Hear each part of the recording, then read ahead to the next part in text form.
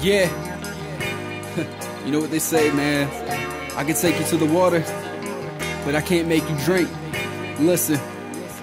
Yo, real shit. I heard that y'all been waiting for something, but on behalf of my personal life, it makes me disgusted. Half the people say that I'm buzzing and claim that they love it, would rather talk behind my back instead of face me in public. Yo, it's nothing for me to say fuck it and go into battle mode. Voice inside my head saying, Ryan, just please leave that alone. Dark flow, turn recording booths into the catacombs. Feeling like I'm mentally ill, surrounded by padded foam. I admit that lately I've been over the edge, but like a barber with the clippers, dog, I'm over your head. So if you think you're better than Ryan, you're basically lying. So quit the barking, little bitches. Try your best to play dead. And I ain't ever really met a rapper I could say as hard as me. If they are as hard as me, they don't got the same heart as me.